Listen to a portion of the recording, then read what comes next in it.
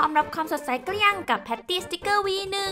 ราคาเป็นมิตร 35 บาทได้สติกเกอร์ไปกดเล่นตั้ง 40 ตัว ถ้าไม่มีเพื่อนให้กดสติกเกอร์แล้วก็ไม่ใช่ปัญหา เพียง subscribe บนแพลตฟอร์ม Twitch ก็จะมีกลุ่มไลน์ชาวตุ่นไว้กดสติกเกอร์เล่นกัน ไม่เหงาแน่นอน รออะไรอยู่ล่ะ กดซื้อเลย ซื้อสิ ซื้อหรือยัง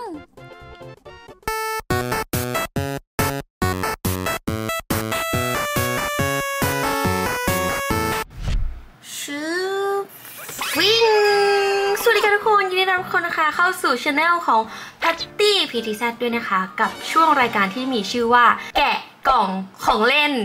มาต่อฟิกเกอร์ ไม่วันนี้ไม่มีต่อฟิกเกอร์นะคะมาแกะกล่องของเล่นนั่นเองนะคะ และของเล่นที่เราจะทำการแกะในวันนี้ก็คือนี่เลยค่ะ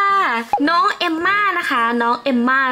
Poetry นะคะ หรือว่าเอ่อเรียกสั้นๆว่าเป็นอ่าไม่ใช่เรียกสั้นๆ เรียกภาษาไทยว่าบทกวีของน้องเอมม่ายังไง เอาว่ะคือทีมนี้ก็เป็นทีมที่ดีนะคะด้วยความที่แบบเนี่ยเป็นแฟนคลับน้องเอมม่าอยู่แล้วก็เลยต้องมีนะคะ ใครที่อยากจะพรีออเดอร์นะคะ ราคากล่องนี้นะคะ ก็อยู่ที่ประมาณ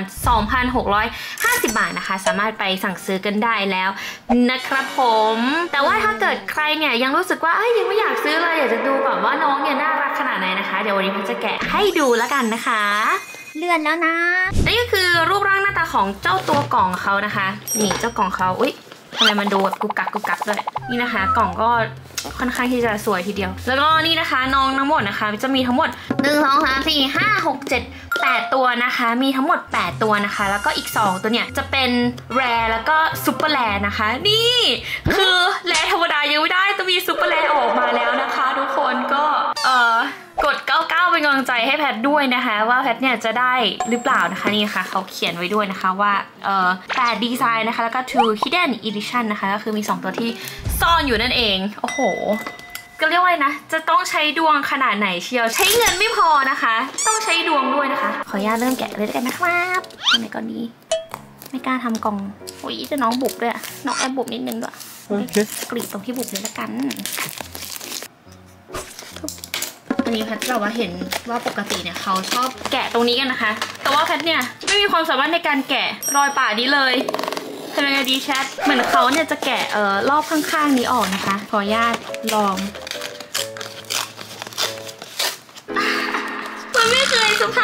เขาแกะยังไงให้มันสภาพดีวะว่าต้องถ่ายกี่เทคหรือว่าเขาแบบกรีดก่อนแล้วค่อยแกะต้องไปศึกษาซะแล้วว่าการทำคลิปแบบนี้เดี๋ยวก็ต้องทำยังไง เพราะว่าเขากรีดก่อนแน่เลยเพื่อที่จะแบบว่าให้มันสวยๆนะไม่เป็นไรนะคะ มือใหม่หัดแกะของเล่น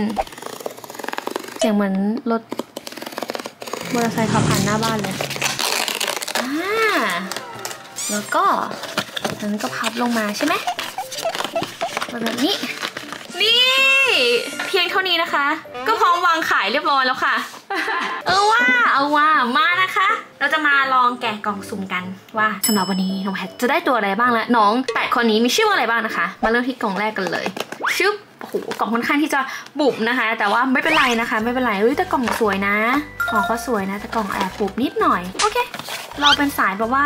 เน้นข้างในอยู่แล้วฉะนั้นแล้วเราจะแกะยังไงก็ได้นะคะ แกะยังไงก็ได้นี่มันยากจัง เอาล่ะตัวแรกนะคะ ชุบมาดูกันดีกว่าเราจะยังไม่ดูการนะคะ เพราะว่าเขาในจะมีการมาให้ นี่นะคะ FG Studio แกะนะอุ้ยน้องเป็นใครกันเฮ้ยก็มาอีกแล้วแต่ชอบมากทุกคนดู นี่นะคะ น้องเอมมาตัวแรกนะคะ น้องไม่ชื่อว่าอะไรหรอ ดูหน่อยสิน้องคนนี้นะคะมีชื่อว่าโอ้ my god น้องก็เป็นภาษาจีนให้แพทแท้ เว้ยอยากรู้คำแปลเลยอะใครแบบว่าเซียนภาษาจีนช่วยแปลหน่อยได้ไหมคะ มันต้องเป็นบทกวี บทความบทหนึ่งแน่ ๆ เลยที่แบบว่าสามารถที่จะบอกได้นะคะ ไม่เป็นไร เดี๋ยวแพทเนี่ยจะไปจ้างนักแปลนะคะ เดี๋ยวจะไปจ้างนักแปลชาวจีนนะคะมาแปลบทความนี้ให้แล้วกันนะคะ ว่าบทความนี้แปลว่าอะไรนะคะ นี่นะคะน้องคนนี้นะคะมีชื่อภาษาอังกฤษนะคะว่า burn นะคะก็คือการเผาไหม้หรอแผดเผาเหรอ อุ้ยดูกำมะหยี่ กำมะหยี่แบบเลือดติดอะไรมาก็ไม่รู้แล้วคือห้องแพทขนแมวเยอะด้วยต้องติดขนแมวแน่ๆเลย นี่นะคะน้องเบิร์นเบิร์นน้องเบิร์นนะคะ ใช่น้องเป็นแบบว่าเออทรงเผาๆนะคะเฮ้ยอยากรู้เลยอะว่าคำแปลแปลว่าอะไร ทุกคนแพทก็ต้องได้รู้ความทุกคนเนี่ยแหละค่ะว่าคำแปลในเนื้อความเนี้ยแปลว่าอะไรมันต้องดีมาก แน่ๆเลยนะคะน้องคนนี้นะคะที่ตอนแรกเราแปลว่า เผาไหม้เหรอ เผาไหม้หรืออะไรอย่างนี้นะคะ ไปแปลมาเป็นไทยแบบสวยๆมาให้อีกทีนึงแล้วนะคะ น้องก็ชื่อว่าลุกเป็นไฟนั่นเองนะคะ เพราะว่าบทความน้องเขาเนี่ยเขียนไว้ว่าเทียนของฉันไฟลุกทั้งสองด้าน มันไม่สามารถที่จะให้แสงสว่างได้ทั้งคืนนะคะ เป็นบทกลอนจาก First Fig นะคะ ประพันธ์โดย Edna St. Vincent Millayนั่นเอง เพิ่งรู้เลยนะคะเนี่ยว่าน้องแต่ละคนเนี่ยเขาก็จะมีความหมาย แตกต่างกัน เฮ้ย art toy มันไม่ได้เป็นแค่ของเล่นธรรมดานะ มันสามารถเป็นของเล่นที่สื่อความหมายให้กับคนรับได้ด้วยเหมือนกันนะคะค่ะนี่ให้ดู detail น้องแล้วกันนะคะ น้องก็จะมีไฟอยู่บนหัวนะคะ นี่ก็คือหน้าตาของน้องนะคะ แล้วก็ detail นะคะ เป็นผ้ากำมะหยี่เห็นไหมอุ้ยพาชอบมาก detail เอ่อ art toy ที่เป็นกำมะหยี่นะคะพารู้สึกว่ามันเลิศด้านท้ายก้นน้องนะคะ ก็จะมีเขียนไว้ด้วยนะคะว่า Emma เอ็มเจนี่นะคะ น้อง Burn มาค่ะในกล่องที่สองนะคะ เราจะมาดูกันว่าน้องเนี่ยเป็นใคร แกะง่ายด้วย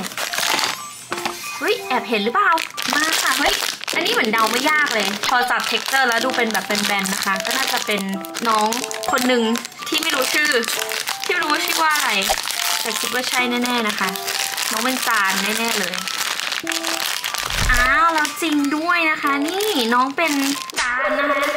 น้องก็มีความแบบว่าเป็นจานเป็นแบนๆมานะคะ เหมือนในเซต Emma Happy Birthday นะคะ ก็จะมีเป็นจานแบบนี้มาเหมือนกันนะคะ เป็นแบบนี้นะคะ แล้วก็เออเขาก็จะมีขาตั้งมาให้ด้วยนะคะมีแต่ขาตั้งให้อันนี้ค่ะก็จะเป็นขาตั้งของน้องนะคะ นี่วางแบบนี้ชุบ แบบนี้นะคะ แต่ว่าเดี๋ยวจะให้ดูดีเทลก่อนนะคะ น้องคนนี้นะคะ มีชื่อว่า Rainbow Skirt ค่ะ ชื่อภาษาอังกฤษของเขานะคะ ชื่อ Rainbow Skirt นะคะ และนี่ก็คือการ์ดของเขาให้ดูการ์ดก่อน ชื่อความหมายเราจะรู้พร้อมกันนะคะ น้องคนนี้นะคะที่ตอนแรกเราบอกว่าน้องแบบชุดอลังมากนะคะเพิ่งมารู้ความหมายของน้องเขาก็คือน้องเขาเนี่ยชื่อว่าชุดนางฟ้านะคะ ภาษาจีนเนี่ยอ่านว่าหนีฉางนะคะ เป็นคำเฉพาะหมายถึงชุดโบราณที่ใส่โดยเซียน แบบในรูปเลยนะคะ บทกลอนเนี่ยเขาเขียนไว้ว่า ลมพัดชายเสื้อพิ้วไหวอย่างแผ่วเบา เหมือนดังงานระบำชุดนางฟ้าของกุ้ยเฝยในครานั้น เป็นบทกลอนจากช้างเหินเกินนะคะ เป็นบทประพันธ์ประพันธ์โดย ไปจีอีนะคะปไปอะถูกปะว่าไปจีอีไปจีอีนะคะ ประมาณนี้นะคะเป็นการ์ดของน้องเขานั่นเองนะคะ นี่เลยดีเทลของน้องเขาเนี่ยเขาก็จะเป็นจานนะคะ แล้วก็เหมือนแบบว่าแปะอยู่เนาะน้องเขาแปะอยู่บนจานทำไมถึงชื่อ Rainbow Skirt ก็ไม่แน่ใจเหมือนกันนะคะ เพราะกระโปรงเป็นสีสีๆหรอ ก็ไม่ลุ้งขนาดนั้นนะ เป็นแบนๆ อันนี้มันไม่ค่อย ไม่ค่อยปลื้มเท่าไหร่เพราะว่าแพทชอบเป็นตัวตัวๆมากกว่า แต่ถ้าเกิด เป็นของเอมมาก็ไม่เถียงเท่าไหร่นะคะ นี่ให้ดูน่ารักมุ้ยเราก็จะมาวางตั้งแบบนี้ชุบนี่น้องก็จะอยู่แบบนี้นะคะ น้องเรนโบว์สเกิร์ตมาค่ะตัวต่อไปตัวที่ 3 ของเราแล้วอู้วิตัวใหญ่มากทุกคนตัวนี้ องเป็นดอกไม้ล่ะนี่น้องดอกไม้นะคะ ตัวนี้อุ้ยสวยมากดูดีเทลความดอกไม้นะคะให้ดูใกล้ๆชัดๆเลย น้องดอกไม้สีเหลืองนะคะเป็นกระต่ายเต็มตัว ข้างหลังก็จะเป็นชุดดอกไม้เหมือนกันนะน่ารักมากตัวแบบหนัก มีน้ำหนักมากๆนะคะ คุ้มค่าคุ้มราคาถ้าเกิดใครจะหามีนะคะ น้องคนนี้นะคะ ชื่อภาษาอังกฤษเขาชื่อว่า Summer Flower นะคะ เรียกว่าอะไรนะ บทกวี บทกวีของดอกไม้ หน้าร้อนอย่างนั้นเหรอ ไม่รู้เหมือนกันนะคะแต่เรามาดูบทกวีของน้องกันว่าน้องเขาเนี่ยเขียนว่าอะไรนะคะอันนี้คือบทกวีของน้องเขานะคะ น้องคนนี้นะคะมีชื่อภาษาไทยว่า ดั่งบุปผาในฤดูร้อนนี่เป็นยังไง ความหมายของการนะคะเขาเขียนไว้ว่าเกิดมาสดใสดังดอกไม้ในฤดูร้อนนะคะ ไม่เหี่ยวเฉาไม่ยอมแพ้ต่อสิ่งใด ๆนะคะ งดงามเร่าร้อนนะคะ ซึ่งเป็นบทกลอนที่มาจาก Let Life Beautiful Like Summer Flowers นะคะ ประพันธ์โดยรบินดนาถทากรนะคะ ประมาณนี้นะคะ น้องคนนี้ตรงปกมาก น่ารักมาก ขอบคุณมาก อุ้ยอยากเรียนภาษาจีนเพิ่มเลยจะได้แบบอ่านออก จะได้แบบเข้าใจความหมายที่เขาแบบอยากจะใส่เข้ามาในของเล่นทุกๆ ชิ้นที่แบบเขาทำออกมาแต่ละซีรีส์อะนะคะ มันมีความหมายของมันด้วยนะ มาค่ะ กล่องที่สี่ไปชูสี่ค่ะแกะออกมาเต้นอู้ว้าวหุยน่ารักวี นั่งอยู่บนอะไรนั่งอยู่บนพระจันทร์เหรอเหมือนน้องนั่งอยู่บนพระจันทร์ครึ่งเสี้ยวเลยอะ่ะ อันนี้น้องไม่ได้เปื้อนนะคะทุกคน เป็นดีเทลของหน้าน้องเขานะคะ ที่จะมีแบบว่าลายๆเป็นเหมือนแบบว่าเหมือนชนเผ่าอะไรอย่างนี้นะคะ น้องไม่ได้เปื้อนนะคะอย่าบุรีน้องนะนี่นะคะนนี้เป็นน้องที่นั่งอยู่บนดวงจันทร์อีกทีนึงนะคะ น้องคนนี้เนี่ยมีชื่อภาษาอังกฤษว่า good night ก็คือฝันดีนั่นเองนะคะ น้องฝันดีเออนั่งอยู่บนน่าจะพระจันทร์ปะควรจะเป็นพระจันทร์นะเนี่ยเออเป็นพระจันทร์อย่างนี้นะคะ แล้วก็เออแล้วน้องเขามีการดมาให้ด้วยอ่านี่ก็เป็นการ์ดของน้องเขานะคะ ความหมายของการ์ดครับน้องคนนี้ค่ะ มีชื่อภาษาไทยว่าค่ำคืนแสนงดงาม เออ ตอนที่แปลตอนนั้นก็เออแปลซะแย่เลยนะคะ พอมานั่งเรียบเรียงอีกทีนึงก็คือ ชื่อเนี่ยสวยมากๆนะคะค่ำคืนแสนงดงามนั่นเอง ความหมายของการเนี่ยเขาก็บอกว่าจงอย่าย่างก้าวสู่ค่ำคืนที่แสนงดงามนั้น ด้วยความเชื่องและง่ายดายจงพิโรธพิโรธต่อการสูญหายของแสงสว่างนะคะ ความหมายของค่ำคืนหมายถึงความตายนะคะ ผู้ประพันธ์เนี่ยอยากให้ผู้คนเนี่ยโกรธหรือไม่พอใจกับความไม่ยุติธรรมบ้างในชีวิตนะคะ ไม่ใช่จำยอมทุกอย่างจนสิ้นลมหายใจนั่นเองนะคะ เป็นบทกลอนจาก Do not go gentle into that good night นะคะ ประพันธ์โดย Dylan Thomas นั่นเองค่ะ มาต่อกันที่กล่องที่ 5 เลยดีกว่าเป็นกล่องนี้แล้วกัน แกะกล่องนะชูนี่นะคะยานะชุบุ๊ย อุ้ยน่ารักมาก ทุกคน ดูสิน่ารักมากเลยทุกคนเป็นชุดเหมือนแบบชุดโกธิกอะไรงนี้ไหมน้องก็ใส่หมวกแบบว่าขนฟูหมวกฟูๆนะคะแนวโกธิกนะคะ เป็นเออเหมือนธีมกลางคืนกลางคืนหน่อยปะ น้องเป็นตัวสีเทานะคะ อุ้ยข้างหลังมีปีกด้วยสวยมาก ชุดโกธิกใส่หมวกนะคะ เป็นธีมสีดำรีม่วงนี่ใช่ไหมม่วงนะคะ เป็นม่วงแล้วก็ม่วงฟ้าเข้ากันดีของดีนะคะ ในตาน้องเขาก็จะเป็นสีเออน่าจะม่วงแหละเนาะม่วงตัดชมพูนะคะ แล้วก็มีหัวใจมีโบด้วยน่ารักมากเลย น้องคนนี้นะคะมีชื่อภาษาอังกฤษว่า stunning beauty นะคะ อาจจะเป็นเรียกว่าอะไรนะ แปลเป็นไทยก็คือ ความสวยงามที่ทำให้เราตกตะลึงหรือเปล่า ไม่รู้นะคะและนี่คือชื่อภาษาไทยที่แพทตั้งให้แล้วกัน ความสวยงามที่ตกตะลึงในยามค่ำคืนอ้าวมันทำไมมันไม่เหมือนเดิมแล้ววะนี่นะคะดีเทลน้องเขาก็จะเป็นแบบนี้นะคะ มีโบด้วยอุ้ยน่ารักต้องมีปีกอะ่ะ โอ้เลิศนะนางเลิศนะโอ้ยนี่นะคะ ให้ดูอุ้ยสวยสวยเสมอส่วนนี้ก็เป็นการ์ดของน้องเขานะคะ ความหมายของการ์ดใบนี้ก็คือ ตัวนี้นะคะที่เราแปลไปว่าสตันเหลืออะไรสักอย่างหนึ่งเออจำไม่ได้แล้วจำคลิปด้ไม่ได้เฉยนะคะ มาแปลใหม่อีกทีก็คือภาษาไทยเนี่ยเขาเขียนว่าความงดงามนะคะ ชวนตะลึงนะคะ แปลมาจากคำว่าคำว่า stunning นี่แหละ บทความเนี่ยเขาเขียนไว้ว่า ระหว่างความสวยงามของพระจันทร์กับหิมะ เธอคือความงดงามที่ชวนตะลึงนี่เหมือนจีบป้าให้ทาย โอ้จริงๆแล้วถ้าเกิดแบบว่าใครเนี่ยอยากจะ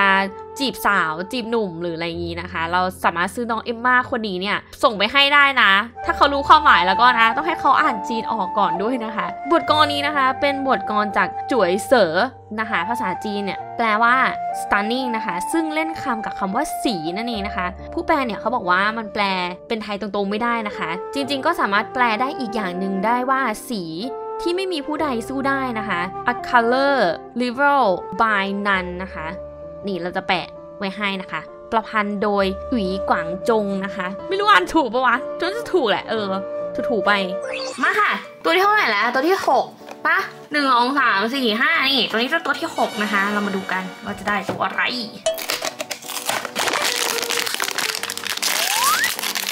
และน้องก็ออกมาเป็นปุ๊บปุ๊บปุ๊บอุ้ยน่ารักมากสีขาวด้วยคุณ เล็กตัวน้อยนี่ด้วย ดูสิน้องคือตัวอะไรก็ไม่รู้เหมือนกันน่ะ เหมือนเป็นแบบว่าหุ่นใส่มือเลยค่ะน้องคนนี้ นี่ดีเทลรวมๆของน้องเขานะคะ น้องคนนี้เป็นสีขาวอุ๊ยมีหิมะด้วยนี่มีเกล็ดหิมะนะคะ ตรงโบของน้องเขาเห็นหรือเปล่าต้องมีชื่อว่าสโนแน่เลย ในชื่อตัวอะไรอย่างนี้อุ้ยสีม่วงด้วยเหมาะกับความที่แพทชอบสีม่วงมากด้วยนะคะ เป็นม่วงแต่ขาวนี่โบน้องเขาก็จะเป็นมีเกล็ดหิมะเหมือนกัน ชื่อภาษาอังกฤษของน้องคนนี้นะคะก็คือ Snow Dust ค่ะ เย้ Snow Dust นะคะ Dust ที่แปลว่าฝุ่นงั้นน้องคนนี้ก็คืออะไร ฝุ่นของหิมะอย่างนั้นเหรอ อุ้ยฐานเขานะคะ เหมือนเขาจะนั่งบนตอไม้นะ เออ เหมือนจะนั่งอยู่บนตอไม้ที่เป็นสีม่วงนะคะ แล้วก็มีหิมะอยู่ด้วยนะคะ อุ้ยหางกระตุยน่ารักจังเลย ตรงนี้เป็นกลมๆเป็นลายวงปีของไม้นะคะโอ้ยน่ารัก อุ้ยเท้าดูอุ้งเท้าชีเห็นอุ้งเท้าหนูหรือเปล่า เป็นหัวใจด้วยนะ น่ารักอุ้ยแล้วมือน้องคือเขามือน้องเขาใส่เข้าไปจริง ๆ นะ เป็นตุ๊กตาตุ๊กตาเล่นมือนะคะ ซึ่งก็ไม่รู้ว่าน้องคนนี้เขาชื่ออะไรด้วยนะเรามาดูการ์ดเขากันดีกว่า นี่ค่ะนี่คือการ์ดของน้องเขานะคะ และนี่ก็คือโปรเอมของน้องค่ะ น้องคนนี้นะคะที่ตอนแรกเราแปลว่าฝุ่นของหิมะใช่ไหม แต่จริงๆแล้วเนี่ยแพทอยากขังคำศัพท์น้อยไปนั่งแปลเรียบเรียงมาอีกทีนึงแล้วน้องเขาเนี่ยมีชื่อภาษาไทยว่าละอองหิมะนั่นเองนะคะ และ บทประพันธ์ที่เขาเขียนลงมาในการเนี่ยแปลได้ว่าความเศร้าโศกของฉันถูกเปลี่ยนแปลงโดยหิมะที่กำลังล่วงลงมา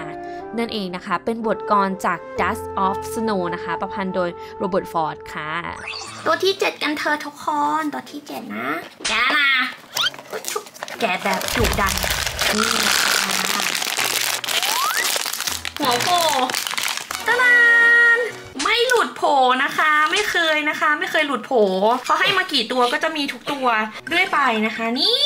น้องเอมม่านะคะ อุ้ยสีเท้าดูอลังการมาก ชุดอลังมากนะคะ ชุดเหมือนเป็นชุดแม่ชีไหม เหมือนทรงๆแม่ชีนะคะ เหมือนเป็นคนที่แบบว่า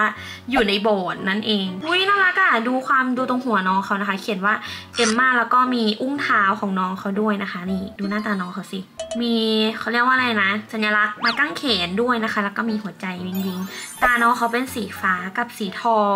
นะคะ นี่ชุดน้องเขามันจะเป็นกวางหรือเปล่าตัวนี้ด้านข้างเป็นหูเล็กๆนะคะ แล้วก็มีเข่าด้วยเข่าใสๆนะ ดู detail รอบตัวน้องกันค่ะทุกคนนี่อลังมากชุดแม่ชียังไงก็แม่ชีมากเฟอร์อุ้ยน่ารักมีความทุกคนดู detail นะ detail ของชุดไม่ได้แบบไก่กาเลยนะคะ ชุดแม่ชีใช่ปะแล้วก็มีแบบประดับดาวดาวนี้ก็ไม่ได้แบบเป็น paint ๆนะคือเขาเรียกว่าอะไรมันเหมือนแบบมันนูนๆขึ้นมาไม่ได้แบบติดกับชุดอะไรอย่างนี้นะคะ แล้วก็ห้อยกันมานี่เลย ชุด ลังเนี่ยคือจะบอกว่าตัวนี้นี่คืออลังการมาก อลังการเบอร์ over มากนะคะ ตัวนี้ ตัวนี้น้องมีชื่อภาษาอังกฤษว่า golden years น่าจะเป็นปีทองนั่นเองนะคะ แสดงว่าความหมายของน้องคนนี้ต้องดีมากแน่ ๆ เลย โอ้งั้นเราไปดูการ์ดน้องกันดีกว่า นี่ค่ะนี่คือการ์ดของน้องเขานะคะหุย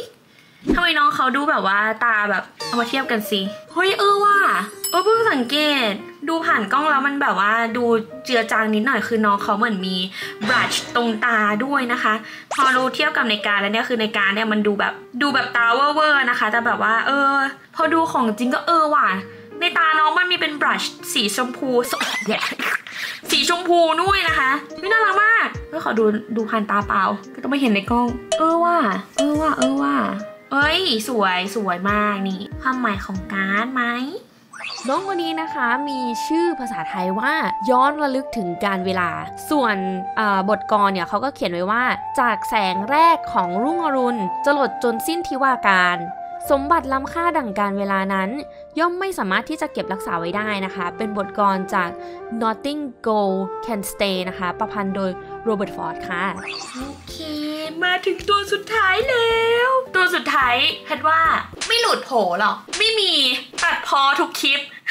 ไม่มีหรอกวันที่เราจะได้ secret อะมันไม่เกิดขึ้นแน่นอนนะคะ และน้องคนนี้นะคะ ถ้าเราไม่หลุดโผเราจะได้น้องที่ชื่อว่าอะไรน้องที่ชื่อว่า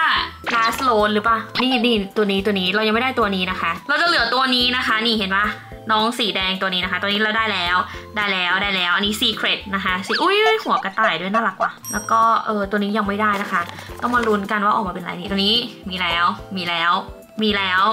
มีแล้วแล้วอันนี้ก็เป็น c ีเคอีกอันหนึ่ง c ีเคตั้งสองตัว ไม่มีทางที่จะได้หรอก เพราะว่าอะไร เราเป็นคนเกลือๆอยู่แล้วประวัติและก็ต้องเปิดมาค่ะ ดูแล้วน่าจะไม่ใช่ เพราะว่าดูลองจับๆดูแล้วเนี่ย ก็ตัวเล็ก เออ ก็ตัวเล็ก แล้วก็เออเหมือนจะมีหมวก เออเหมือนจะมีหมวกด้วยนะคะเอ๊ะมันมีหมวกทุกตัวปะวะ มา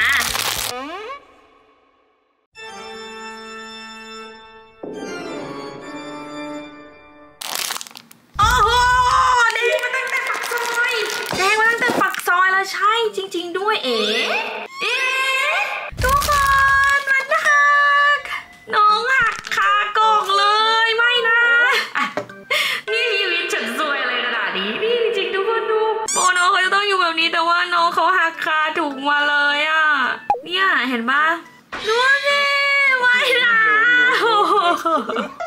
หักคาถุงเลยทุกคน ใส่ได้ปะวะ ก็พอได้อยู่ถ้าแบบเอากาว เอากาวของเล่นมาหยอดเพราะว่าได้อยู่ละมั้งโอ้ได้แหละแต่เพนไม่กาวดินน้ำมันก็พอน่าจะพอได้อะนี่ ถึงแม้ว่าน้องจะหูหัก หมวกหักมาแต่ไม่เป็นไรนะคะ มันก็ยังอยู่ในสโคปที่ซ่อมได้แล้วก็ไม่ได้แบบหักในส่วนที่มันดูแล้วรู้ว่าพังนะคะ ก็ก็ได้อยู่ก็ได้อยู่ก็ไม่เป็นไร น้องเขาเนี่ยก็จะใส่ชุดนะคะ ชุดเป็นชุดดอกไม้เออเป็นชุดดอกไม้สีดำนะคะ ตัดกับสีแดงในตาก็จะเป็นสีฟ้าตัดเขียวนะคะจมูกหัวใจจุกกุน่ารักจุกมุกจุกมินะคะ ประมาณนี้แล้วก็เออชุดจะค่อนข้างยาวนะคะ ให้ดูดีเทลรอบๆนะคะ โอ้ยน่ารักนี่มีเขาเรียกอะไรนะ เป็นคอเต่าเหรอ เรียกว่าอะไรดีเทลชุดไม่รู้เหมือนกัน ชุดก็จะเป็นสีดำแบบนี้แล้วก็ใส่ที่คาดผมนะคะ ที่คาดผมเป็นเออซุ้มกุหลาบใหญ่ ๆ แบบนี้เลยนะคะ ใหญ่เบอร์แรงมาก น้องคนนี้มีชื่อภาษาอังกฤษว่า last rose นะคะ นั่นก็หมายความแบบตรงตัวเลยคืออะไร ดอกกุหลาบสุดท้าย ดอกกุหลาบท้ายนี้ที่ฉันจะให้เธอหรือเปล่าไม่รู้เราต้องมาดูความหมายของก ที่เขาให้มากันนะคะ ว่าน้องเขาเนี่ยจะสื่อถึงอะไรนั่นเองนะคะชวิงนี่นะคะนี่คือการดของน้องเขานั่นเอง เออเฮ้ยข้างในดีเทลมันมีสิหัวใจด้วยหรอวะขออนุญาตโอ้มีจริง มีจริงแกถึงแม้ว่ามันจะแบบไม่ค่อยโฟกัสเท่าไหร่แบบนั้นนะเนี่ยนี่นี่เห็นปะ ข้างในหูเขาตรงเนี้ยก็จะเป็นหูรูปหัวใจด้วยนะคะ ใช่ใช่ใช่อาจจะต้องดูลึกหน่อย คือถ้าดูจากตามใบอะไรเงี้ยคือในใบเนี่ยเขาก็จะเห็นว่าเป็นหัวใจความนี่เห็นปะถ้าเราเราก็ต้องแบบค่อยๆส่องดูข้างในแล้วก็เออว่ะมีจริงแกดีเทลที่เขาแบบทำให้มันคือมีนะคะนี่แขนเขินอะไรมีหมดเลย ดูกันดีกว่า แล้วนี่ก็คือ โปรเอ็มนะคะของน้องนั่นเองโปรตี้โปรเอ็มน้องคนนี้นะคะที่เราบอกว่าน้องชื่อลาสโลนนะคะ ภาษาจีนตรงตามความหมายเลย เราแปลเป็นไทยว่ากุหลาบดอกสุดท้าย นั่นเองนะคะ บทกลอนของเขาเนี่ยเขียนไว้ว่าบนผืนแผ่นดินร้างที่แห้งกร้านของฉันเธอเป็นดอกกุหลาบดอกสุดท้ายนะคะ เป็นบทกลจาก 20 Love Poems นะคะ and a Song of Despair วงเล็บวิดบีนะคะ ประพันธ์โดยพลาโบเนรูดานั่นเองนะคะ นี่ก็คือทั้งหมดของเอมมาสโปรตีนะคะ บทกวีของน้องเอมมานั่นเอง ซึ่งจะซ่อนมาอยู่ในการนะคะ ความหมายก็อย่างที่ทุกคนได้รับชมไปนะคะ ถ้าเกิดถูกใจน้องคนไหนเนี่ย ก็สามารถที่จะไปหาน้องมาได้เพื่อเสริมสิริมงคลให้กับชีวิต ได้หรอวะถ้าถามกันว่าชอบตัวไหนมากที่สุดในเซตนี้นะคะ ก็ต้องบอกเลยว่าขอให้รางวัลกับ ผู้ชนะเลิศก็คือน้องคนนี้นะคะใช่น้องคนนี้ที่ชื่อว่า Golden Years นะคะจริงๆตัวนี้ก็จริงๆตัวนี้ก็ชอบนะจริงๆน้องคนนี้ก็ชอบนะน้องกูดไหนเนี่ยคือน้องเขาดูอลังดีนะคะ แต่ว่าตัวนี้ดูแบบ เลิศมาก ไม่รู้ทำไมว่าชอบน้องคนนี้มากที่สุดนะคะ ถ้าให้แบบเรียงลำดับเอาความชอบที่สุดแต่ถ้าเกิดถามว่าชอบไหมก็ชอบหมดแหละเออชอบหมดแหละที่เป็นเอมมานะคะ ประมาณนี้นะคะสำหรับการแกะกล่องน้องเอมมาสโปรตีนั่นเองนะครับผมใครชอบคลิปนี้นะคะอย่าลืมกดไลค์อยู่ไหนเนี่ย กดไลค์กดแชร์กด subscribe ให้ด้วยนะคะ ไว้จะมาแกะกล่องให้ใหม่นะคะ ว่ามีตัวไหนน่ารักน่ารักเนี่ยเดี๋ยวจะมาป้ายยาต่อนะคะ แต่เอมมาเนี่ยบอกเลยว่าไม่พลาดสักคอลเลกชันอยู่ที่ว่าคอลเลกชันนั้นเนี่ยจะได้ถ่ายหรือเปล่า หรือจะยังดองไว้อยู่หรือเปล่านะคะ ไปแล้วขอบคุณค่ะที่มาดูเจอกันใหม่คลิปหน้าบ๊ายบายบ๊ายบายอย่าลืมไปหาตามกันนะคะน้องๆคนนี้เรานี้